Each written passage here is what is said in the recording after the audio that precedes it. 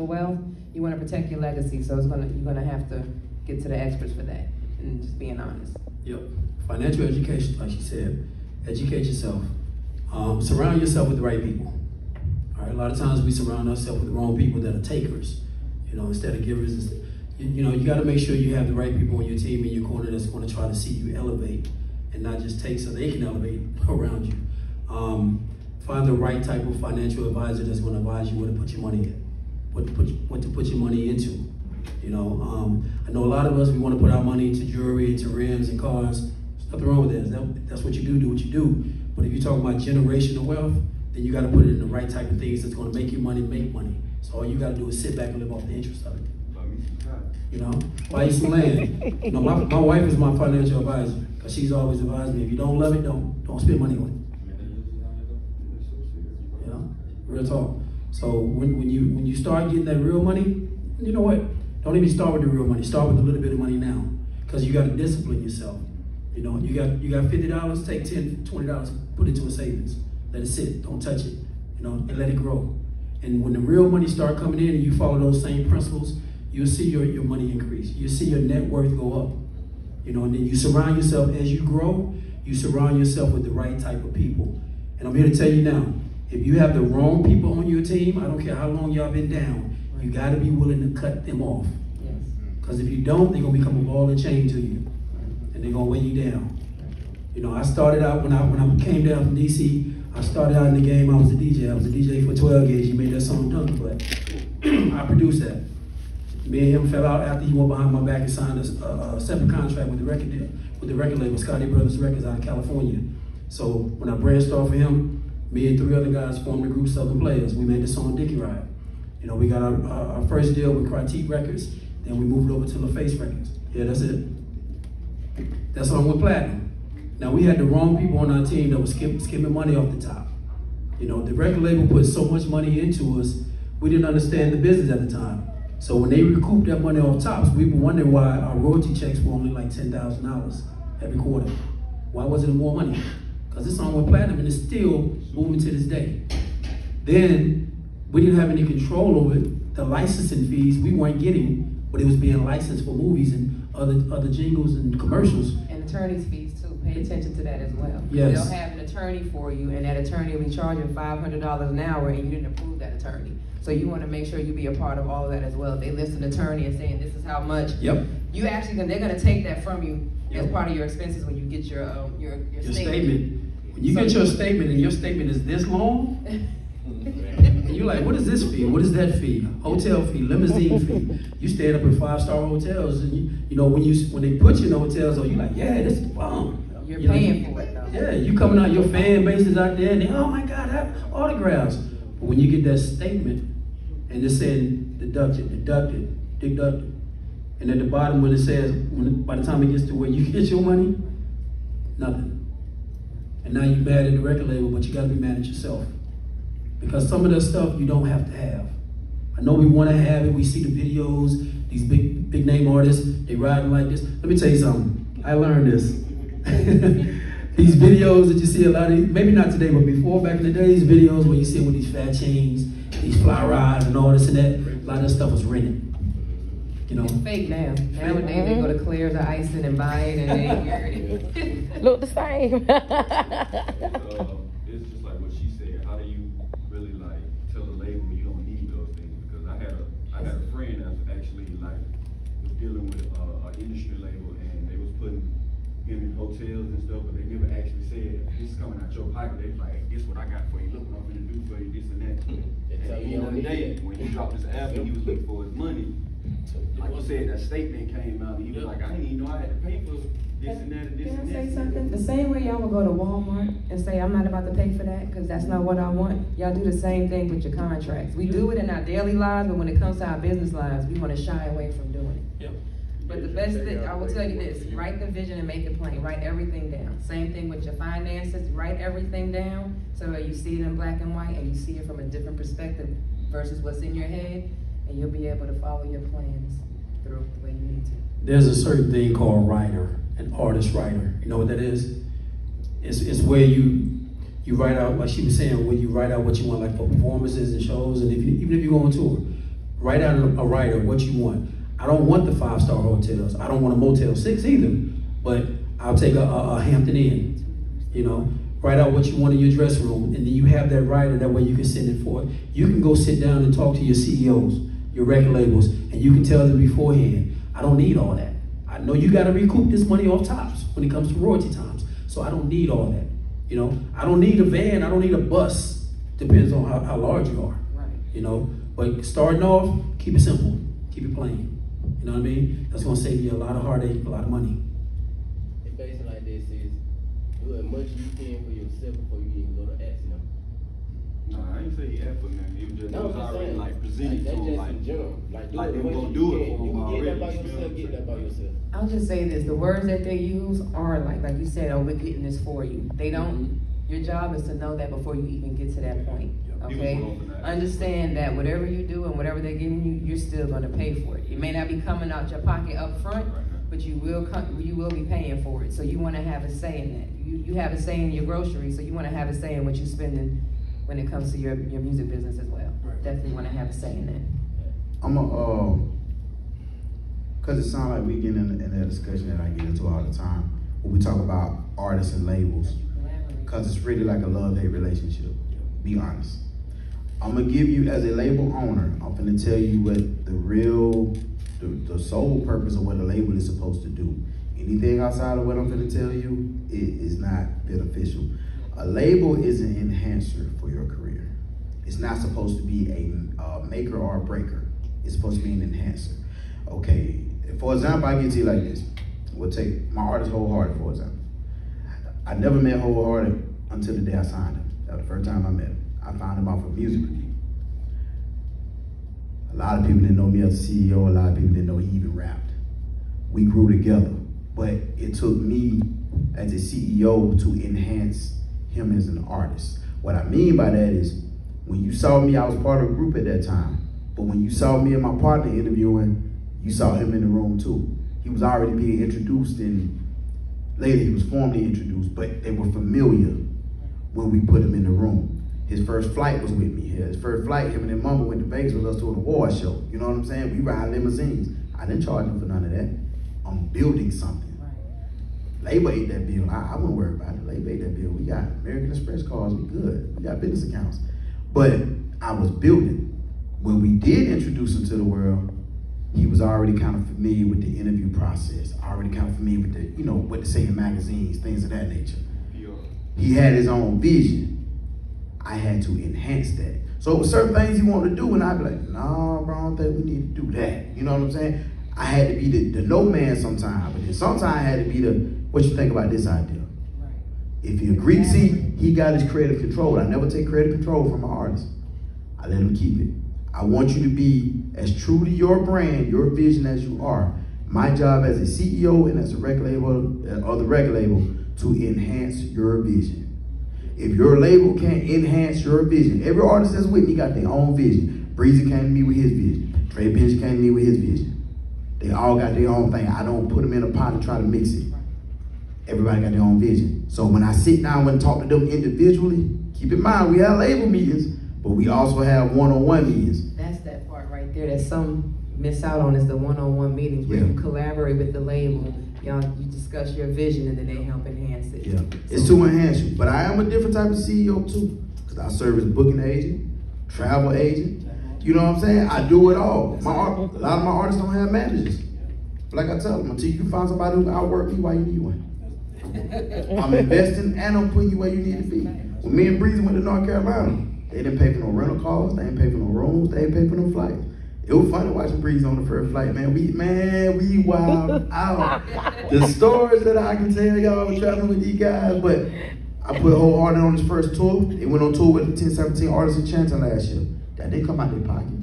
When we went places, they either met us or we, we got together in the car, we rode together. I'm having my hands on CEO. Q from QC ain't finna do that with Lil Baby them. They got people around them for that. When you independent, we together. Like I tell them sometimes, look, bro, we flew in, we ain't got no guns. so shit go love it, it is what it is. you know what I'm saying? I'm just gonna keep it 100. I'm one of them. And look, if, if we driving, hey, look, we know we got the AR in the back, we got the 40 right here. Look, get crazy if you want to, shit, go left. But I'm one of them type. When it comes to my team, is them my guys. Like I talk to people's mothers. I had one of my artists sign me a long time ago. I had to help him bury his mama. Until you go through things like that with artists, I'm a different type of CEO for a reason. To this day, that's still my best friend. You know, his mama dead 10 years now. I actually got arrested the night, the night before the funeral. Long story, anyway.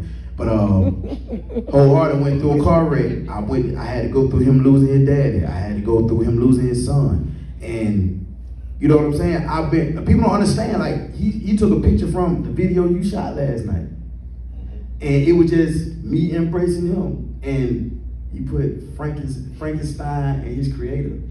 Oh, the monster. Yeah, what you put on the Yeah, Frankenstein. and the monster he created. And, and in a sense, if you think about it, I felt that. yeah, I felt it. You know what I'm saying? But when you go through something with people like that, people can holler business all day. I had a manager try to see here and say you need your own manager because the label don't have your best interests at heart. Let me tell you something. When you get a phone call from your artist mama telling him you finna sign one of the biggest deals of your life, but you put that to the side because she told you your artist lost his daddy, it's deeper than music. And a lot of people don't understand that. I ain't what you ain't gonna find one of them, I promise you. I don't give a damn who you go to, you ain't gonna get what you get from me from 98% of the game. Cause I put emotion into what I do in the realness. If it if it's dumb, I'm gonna check you. If I do something dumb, even though I'm a CEO, I expect you to check me. I'm real enough to say it. A lot of people can't handle that. A lot of people use their position to humble you and keep you down. At the end of the day, y'all, I'm here and I'm losing money right now. I'm gonna keep with you. But to give y'all knowledge, that's some money can't buy. So for me, that's a bigger reward than any amount of money I can make in a day is priceless. And then y'all my partners, like y'all my partners, man. You know what I'm saying? We could have had that conversation on the way back to Atlanta or something. But to show y'all in this room, it showed me that y'all serious about what you're doing here. Y'all beat me here, most of y'all. So you know that's a good look. Then Deona cooking and stuff. And you know, I'm sorry for earlier, by the way. I just want to let you know that, you know, publicly. I just gotta say something, because I mentioned this, all y'all, all, all, who's all his artists in here? Y'all are bomb as hell, you understand me? I was, look, I was, last night I was like, okay, just one more song, they could, no, they can keep going, y'all are really, really good, and it shows that y'all actually put a lot of work in and that y'all work together. That you, from the performances to how they interact, y'all are dope. Oh, yeah. I think y'all are really all dope. I just had to say that. 'cause I think I'm about to, you know, I'm about to give him my demo tape. You off all that shit. Shit, I- Hey man, if I can't rap, I'll stand on the stage and do the run, running. man. Something. Just- Just let me be a part of the team. But no, but you, it, it, it's, it's real when you come to things, you have things like this, and this is free. This is free right here. Do you know how many people passed up of not coming here? And it's free, but they'll go pay two thousand dollars to go sit in a seminar. For the same thing. It's crazy. So that just, that lets you know how people's perceptive, perception is and everything. Um, I do, I wanna, I wanna get back to one thing, and that, that is, you know, what's very important is you as a brand. Your, your, your name, your artistry, you are a brand, you are a walking business. So you have to be. Register too. Right, right. You, you're in the public eye at all times. You know, people look for, for reasons to, to, to, to take that away from you. What I want to say is, you don't have to go out here and, and buy Gucci this and Fendi that and Louis this and all that other stuff because you're a brand. You gotta stay. I, I, I remember Waka Flocka said, he said, why would I want to go to a club with some $800 pair of Louis loafers on that six other people gonna have when I can go up the street to Pookie and Ray Ray and get my stuff specially designed and won't nobody else in the club have that. That's some real shit right there. You follow what I'm saying? So you gotta you gotta think about that. Stop trying to be like everybody else out here and be original like they said. You know, that's something to take with you. Yep. Um, that's real talk. So, as an artist, you want to think longevity. You don't ever want to just think, okay, I'm gonna drop this song, drop this album, and that's it. You want to always keep thinking steps ahead. All right, you got fire music, keep writing. Don't ever get to a point where you stop writing. You know, your ideas, keep them, keep them on the paper, how you do, however you do it on your phone, but keep it rolling. You know, because you may have a fire song, but always strive to make the next one better. You know, excuse, make it harder than that. So when you do get to that point where you should have real money coming in, like the young lady sa- said, what do you do with your money when you start making it? You start thinking multiple streams of income. Spread your money out. Don't just put it back into studio time. If you got money to where you can invest into some real estate, you know, invest into some type of property, invest into your own label and an artist, if that's what you want. Yes, sir. Before you even start making money, start paying yourself now. Yeah, you always want to pay yourself. Now, don't pay yourself. don't make a hundred dollars and pay yourself eighty.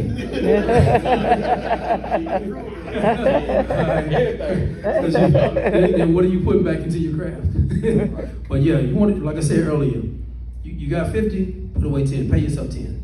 You know, if you if you have a vision and that vision is real, it's going to cost. So whatever money you make, you want to put back. It's just like the dough game. Hopefully, is it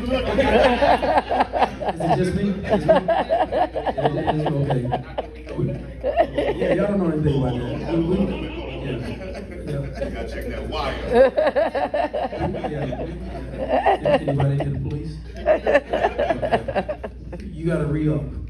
You know, you gotta reinvest into your product. You are your product. Okay? She looking like, oh my God, he's my dope. Yep. Uh, Things ain't changed either. You got, you got a question?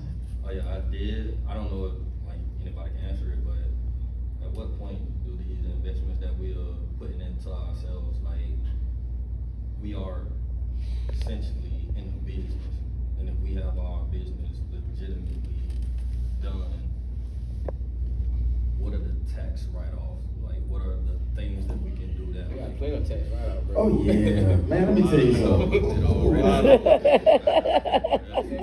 I'm, I'm gonna tell you like this.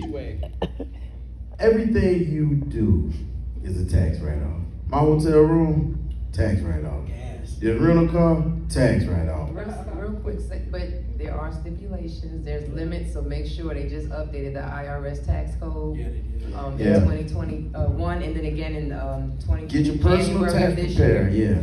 So definitely, I used to do that, I used to have my own tax preparation company, I'm a certified financial education instructor as well, so I can, I go around teaching, uh, financial literacy and everything for all the questions that you all ask. I feel I have my master's in business, I have a lot. Yes. I had a P ten, I got- but I will say this, they did. There with that. You know, a question, uh, real quick, um, for those who are local, local, there's a great financial analyst that's, uh, she's an accountant and financial, uh, advisor in this building alone. There's a lot of gyms in this building. Her name is Valencia. She's, uh, accounted for artists like Calvin Richardson, King George, Kim. I mean, she got quite a few on her belt, and she's, she, she works for the top accounting agency in the world. And she's one that's responsible for getting, making sure the government is in line, the federal government. So she does very good. If you wanna, um, if you want to uh, really get some information or what you like, what you the question you just asked, or what she she firsthand, her she got a a, a, a whole um, conglomerate of information that she can give you to, to help you with that. I will say this, when you go to these experts, full transparency. Don't be embarrassed about how you're spending your funds and everything. You have to be very transparent in order for it to work for you. You can't be lying to yourself and them, or otherwise it won't work. You're in, you're in the strip club making it rain, you know, spend a hundred thousand in the strip club. You can be honest, put it on there. But definitely get you an expert. When you get to that point with everything, it's not a deflection, hire you an expert, someone who does this every day. This is how they make their living. So they're gonna make sure you're right. Don't, don't, don't get your cousin in them. Right, Yeah. yeah, Oh, no. definitely. I'm gonna say this too though, for anybody who's starting a business, just because you start a business don't mean you're gonna always make money when you start it. If you're an artist in here, you already know. I didn't see, I didn't get out of the black with Ruthless Killers until after the pandemic. Out of the red, I'm sorry. That took me, I started in 2018, so we talking 2021. Generally, it's about three years. You'll they say you can, especially what you can claim when the IRS talk about taxes. Three, your first three years of your business, you can claim a loss on it. Yeah. So that's a, that's kind of like the rule of thumb. Three Yeah. years. By then, you want to be ma- ma- being a black versus staying in the red. Yeah, and how, and actually, I'm gonna tell y'all the, the key to how I got out of the red. I got with I got with Chipper Jones one day. I went to a seminar. Chipper Jones, he was there, and um, I just had a chance to speak with him. And he was getting ready to have a baby at the time, or something like that. And he got a bunch of kids. They're all like all boys too. Like I was like, damn, like one girl. but he was telling me he got to talk about money, and I'm, I'm telling him like, yo, well, I do music, I don't play baseball, you know, boo. He said business is all one and the same. You know what I'm saying? And one thing he told me, I didn't stress business credit until I talked with him. That's how I got out the red. Once he started letting me understand, like people started wondering, well, damn, why Jerry getting so many record label pieces now? Everybody on my team got record label pieces. I was financing them through the company, paying them off, but I'm building business credit. I went from a Capital One gold card. Then I got American Express gold. Now I'm working on platinum. But once I got business credit, you just take that business credit and let that turn into cash. So I start paying for certain things. Throw a show, show make money. You pay that off, take the profit, put it in the bank account. I just use credit to make money. Once I figured out the formula, I always tell stress people, look, man, business credit, not your personal credit, business credit. I it starts with how I started mine. I did start with my personal. I took my EIN, started under the company, but because it didn't have no credit, I had to use my personal first. Once I started establishing, you know, I had uh, Avis rental car things. I got the first credit card, rented through the uh, credit card, paid off. You get your uh, DUNS number. Your DUNS number is how they keep up with your business transactions. So your business bank account, all that stuff, all that reports back to your DUNS number. Your credit cards, pay it off, good standing, report to your DUNS number. The score on your DUNS number is what dictates your business credit score. So when I started, you know, my credit started going up. So I, first I started out like 800, then I wound up getting like 15, then they bumped me up to like 7,000. This just jewelry though. So like when it started time to get wet bands and stuff, I mean, I'm going crazy. Then I got big discounts from my jeweler. I'm plugged in. So we get them. How I was doing it, I was paying everything off in 90 days though. So I didn't get it, just pay it right off. You gotta let it sit a little bit. Right, before the interest hit, day 89, say you owe 4,000. 4,000 paid off. So now I paid it with the credit card. So now the balance on the credit card, so I double paid myself. Then you take the money cash that you made from the profit, pay the credit card off. Not only did I pay off the jewelry, I put it on the credit card, then I paid the credit card off. So I'm doubling up on one move. So you mean to tell me I can have bad credit standings and have an EIN number and I can still get this? Yes. Yes, and your and, and and Jack put me on that too, and Jack told me his business credit saved his personal credit. Yes, you can do that. That's real happy. Like what he was saying, like we're renting vehicles and stuff and putting it in your oh, company's name. Same thing, like with trade lines, depending on what you've been, different things, trade lines, different kind of called the net thirties and net nineties and things of that nature. That you use that to establish your business credit. So Duns and Sprat, Bat, mm-hmm. Bradstreet, and then your paydex score is what they be paying attention to now nowadays. But you can do all that, but you have to be registered properly. Your, everything has to be registered properly, so it all goes down to the paperwork. So what's the biggest killer to an artist's career? Mark. What that question was. The biggest. what that question again? What's the biggest killer to an artist's career? Themselves, what it be? Lack of education. Lack of knowledge about the business. Because you can have sales, you know, you can have marketing, you can have branding. It won't be coming from you. Because if you have a lack of understanding, lack of knowledge, education about it, guess who's getting the revenue from it? If you don't know the business, nine times out of ten, you're gonna get stuck. Okay, you can get on stage and you can get performance money all day long. But if you're not getting royalties, they merchandise and you got merchandise everywhere. But you don't have any percentage of that. They got they're wearing your shirts, they got your name on there, but you're not getting any type of percentage, no type of income from that. So how do we get artists to be more interested in the business instead of that right now money, the show money? Because that's basically everybody I be around, or just like I said, I associate myself with. That's all we're chasing, really. Is the show money. That's right now. Do it for yourself. Do it, lead by Yeah. example. Start by doing it for yourself. And they will see that it's working for you and then they will more than likely want to do it as well. Because if you just try to do it, a lot of people are disbelievers. We're our worst enemies. We will talk ourselves out of something quicker than anybody else can. And let somebody else say the same thing we're already doing, now they're a hater. So start by doing it for yourself. Don't talk about it, be about it. And most labels have artist development, um, bigger, larger labels have artist development Right. departments. Um, you, you want, Not no more. No, they got rid of it. they got rid of them? What happened with major? No, They The, have- the, ind- the independent scene is the artist development. Yeah, they don't do artist development. no more than they do. Piggybacking on how you said they don't even bother to invest in you unless you got motion Yeah, you gotta- you gotta- The you gotta streets is, yeah, out the streets is the artist development now, so they Yeah. kinda digging in the indie circuit. uh, when I came out, Yeah. I'm not gonna Y'all date myself. that was- I'm only Like- twenty-seven plus. I ain't gonna say that though, Jerry, because on, uh, on Baby Just documentary just came out this year, he, he actually went through it, so it, I think it's just something nowadays that an artist would have to like ask Yeah. their label for, like, type thing, like, just be on them about Yeah. what they want, because I've actually seen Lil Baby went through artist development. All labels ain't the same. Yeah, all ain't the same either. Wait, once Like, again. like QC, the, the, uh, the, what them girls is, the Miami, what? Uh, City Girls? City Girls, they weren't even really rappers when they first signed No. up. They developed them into rappers. And, but that, that was a smart investment, cause look how it turned out for them. Let me ask y'all this though, as artists, when do you think an artist should get paid shows? And I'm asking this from a promoter's perspective, cause I do both, so When I know the streams answer. make sense. Huh? When your streams and your royalties make sense. Uh, Not When you got- like numbers. Go Yeah, ahead. high demand. Huh? When you got people demanding to see you. Go down to- Cause you have, cause see, you got websites, you got websites that you can actually sign up for that uh, let you know who demanding you, what city demanding you. Mhm. You know what I'm saying? Like, cause I'm signing up to all of them.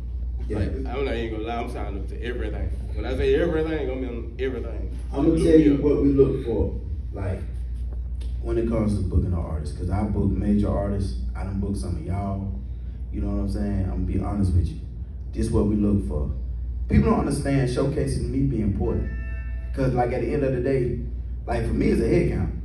If I see you come in for a showcase and you got like 34 with you, you might not even win. But get what I see? That boy got some money behind him. Hey, girl, let me holler you real quick. You know what I'm saying? Or I'm looking at it like, okay, he dope and people rocking with him.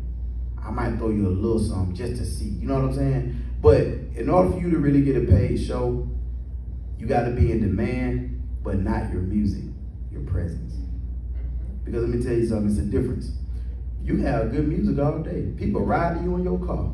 But it's a different when the mother talking about, hey man, go pay that 30, come see Cuz when he come to town. Look, just because you in demand on the radio, don't mean you in demand in person. That's. Then you got some artists who people don't really even listen to on the radio like that. But if they throw it, like, think about it. How many NBA YoungBoy songs you hear on the radio? Think about it. None. But let him throw a show and see how many people pull up. That's real spill. You gotta be, for me, you gotta be in demand in person. I don't mind paying an artist. But artists tell me all the time, hey man, I rap this go hard just cause you rap, cause I rap. What I mean? Just cause you rap don't mean you get paid cause as a promoter, a promoter is trying to invest, make a profit. If I see you come to the club with two folks, yeah, you might want to showcase, but that don't tell me I need to pay you for a headline you for a show. Cause if only two people show up, well, I just lost. But the artist gonna still look at, hey, I, need my I need my back end. So what are some things artists can do to become a high demand, like, at for their presence?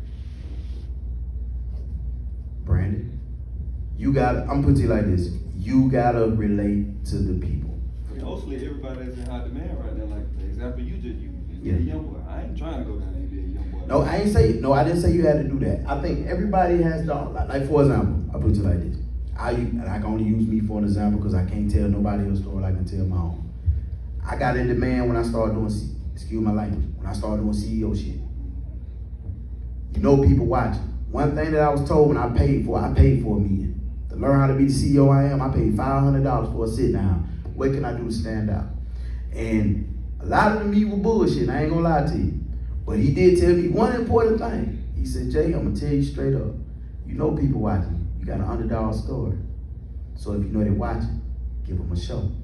So when y'all start seeing me pull up in limos, we all on the west coast in limos. I'm out the sunroof like I'm Tupac, riding down the Vegas Strip. like, you know what I'm saying? Y'all was in that me, she said. I'm for real. People thought I was tripping. But if you, but back home, they look, damn, that, well, that show was hot. We pulled over to the award show. The first thing she said, we pulled up to the uh, to the club. She said, "Damn, y'all out here doing it like this." We pulled up to the radio station in the limo, big old nice Sprinter bus. We caught from, and it was something simple. We caught it from the MGM Grand, rode it down to the radio station, rode it back. then went to the went to the uh took it again to the uh but it was basically my taxi, but it was fancy. You know what I'm saying? And at the end of the day, back home, they looking at like I'm over there snapping. I'm just marketing and promoting. Y'all just tapped into the show. But it was entertaining. They get what? We went over there, we got nominated. Won an award on the West Coast. First of all, that was something that from Alabama to Georgia, shit, we don't even get played on the West Coast to see a motherfucker from the same. You been in the club with me. See somebody go over there, no, actually won an award, then we won two. Then we closed out the show. We did this on the West Coast. Then you gotta think, on the home front, I was doing something that wasn't nobody doing. It still wasn't getting played on the radio at home. It's cool. We weren't even nominated in the South at that time. We on the West Coast winning the award. They wouldn't even nominate me in the South. We pretty much made the South nominate us. Because when the West started nominating us, okay, we got to tap in now. Then, on top of that, when I started doing CEO shit, so now I had to elevate my game. People started recognizing, started calling me CEO. A lot of artists have been out of town with me. I know a lot of y'all music. I'm a lot of y'all fans. Shit, a lot of artists took their first flights with me. Put artists in magazines, stuff they never did before. Dreadhead Gang were underdogs. They didn't get interviews, so they one who got the flavor. Ask them, they'll tell you. You know what I'm saying? Things like that. When you start putting people in positions, start doing things that people can resonate to, okay, that look like CEO shit, that is CEO shit. Because look around it, people ain't doing it for themselves, or somebody doing it for them, and they ain't signed to me. That's CEO shit. How many of y'all have seen somebody that dressed up, look like money, but they ain't got no money? yeah.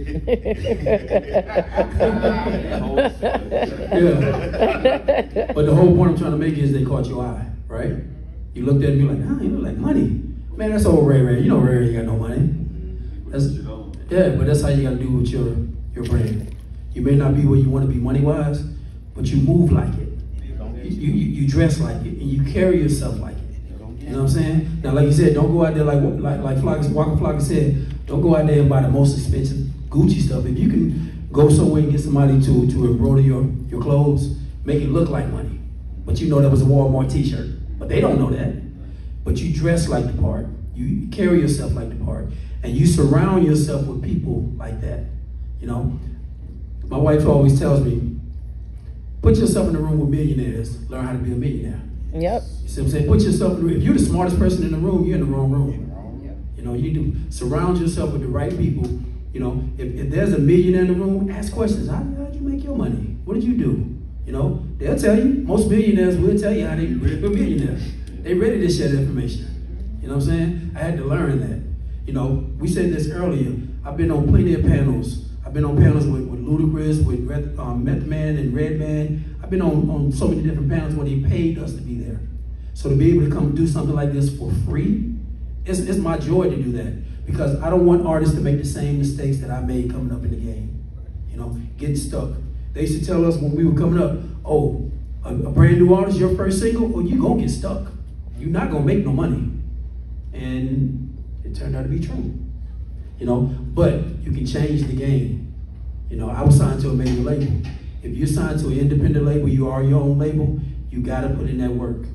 You gotta make sure that you learn the business. Because if you wanna kill your, your, your career, don't learn the business. Let somebody else do it for you. That'll kill your career. Now, if you got somebody that's on your team that's doing it for you, they on they up on the up and up, you rub elbows with them. You learn the business right along with them. You ask questions. You look at the numbers. Let me see the contracts. You know, let me see everything that's going on. I don't want you to just tell me what's going on. I want to see what's going on. Yeah, we walking this thing together because I think you said earlier, 50-50. You know, if a label is coming in, the label saying, I'm putting up all this money for you, the label's gonna hold you accountable, you need to hold the label accountable. Because the label's like, you know what, I'm not paying this money for you to be out here to promote you, to brand you, to market you, to set up these shows, and you're not showing up, or you're showing up late, you're showing up high, drunk, you can't even perform, can't even stand up right, or you're showing up and you got 30 other niggas with you. That ain't working. Yep. You know what I'm saying? To elaborate on that, for all the artists in him, you got them thirty people with you, you paying for them too. Yep. Mm-hmm. All thirty of them Yep. coming out your pipe. Cause what they, cause they, they, they, they around you like this, or they waiting on their turn to get put on by you. Entourage. You know what I'm saying? You go on And, that tour, and be like, okay, I got all my entourage with me. and everybody can't go with you where, where God is trying to take you. All right, let's, let's make that clear. Everybody can't go with you to where you, you- you're trying to get to. Some people you just gonna have to just be straight up and honest with them. Yeah.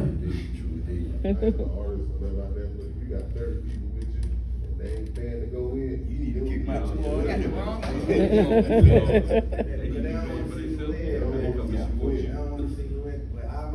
come with me, they got, Yeah. you got. Who's with you, You know what I'm saying? at the show? My thing is like, Yeah. That's- I'm supposed to be getting paid, Yeah. you feel what I'm saying? Like, if you don't wanna support me, man, I don't know. Why you riding with me? Fifty Cent said And then the it, like, just like my man said. True indeed. Everybody gotta get paid. Fifty Cent said it just like you did, and your wife. You only get as far as the people you hang around. You follow what I'm saying? So sometimes you gotta change your circle. If you got them 30 people coming around, they already got their hands, they always got their hands out, what you gonna give them, what you can do for them. You need to you need to cut them off like cancer, because they gonna hold you back. Even if you got them thirty people, I all of them should have a job. Yeah. Exactly.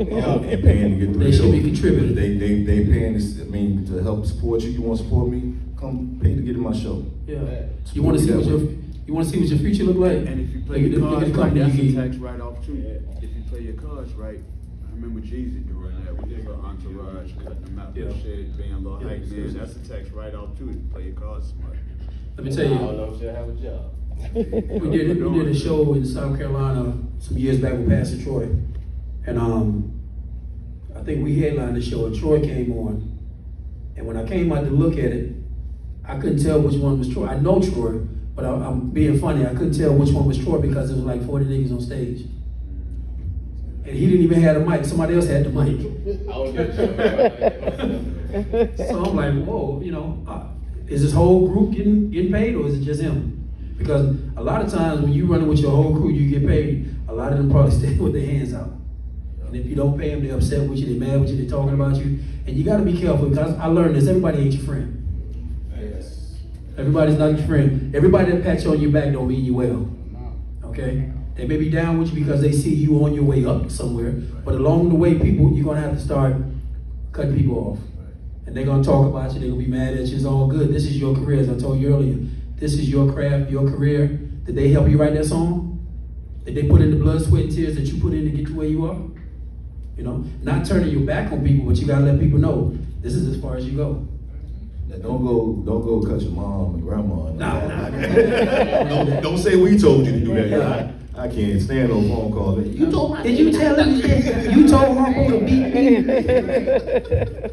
hey, but in some cases, you might have to cut, cut mom and dad off. It just depends.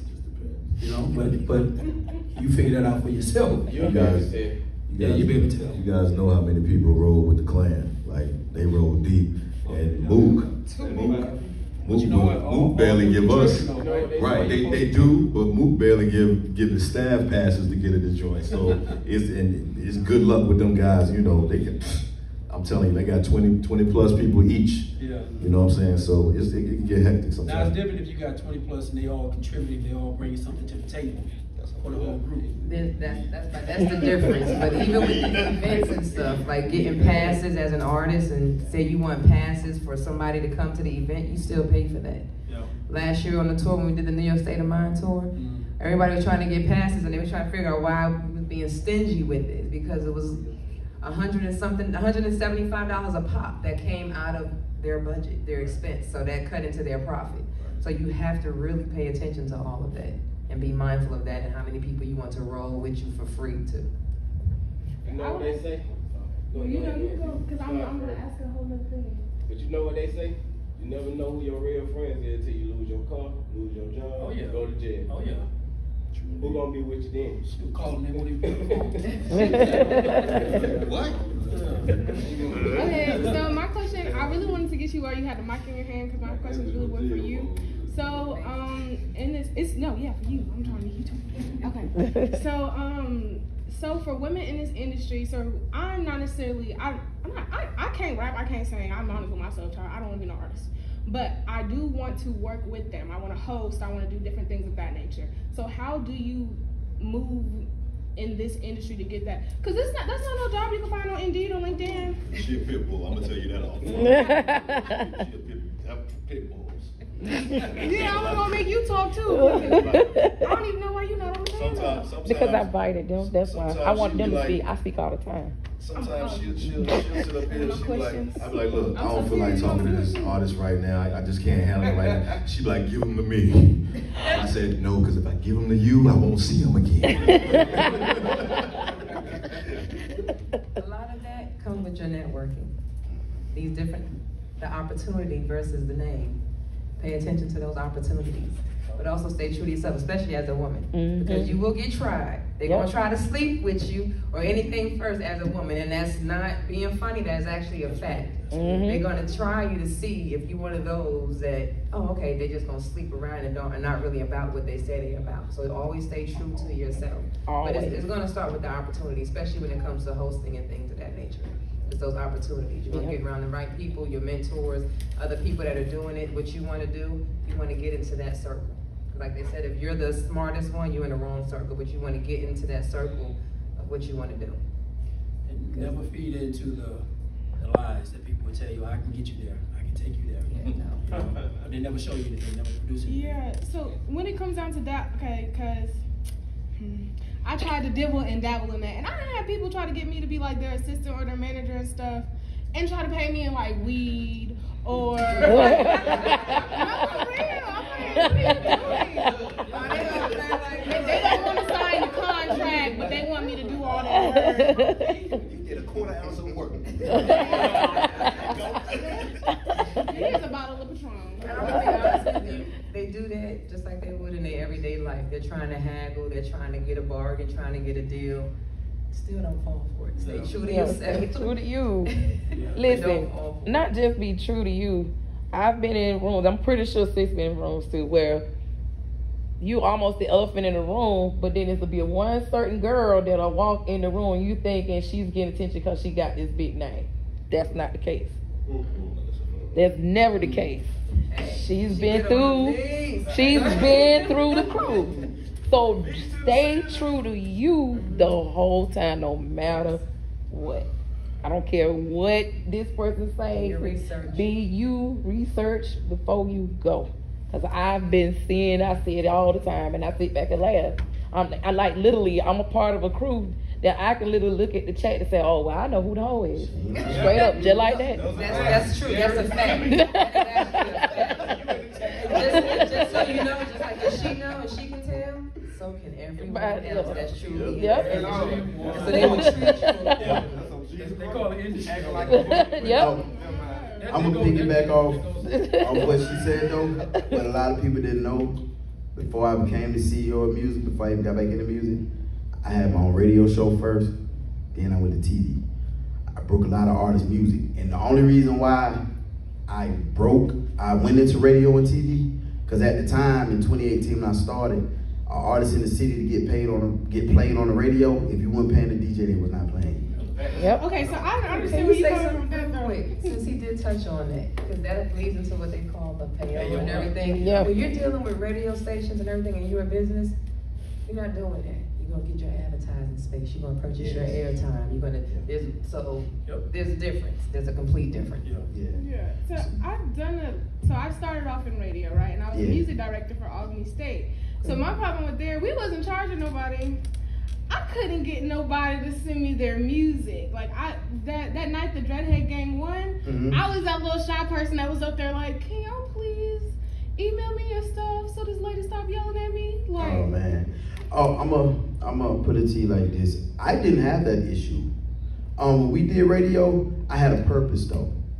The purpose for when I started radio was to have an outlet for all the artists in the 229, and I was in Atlanta.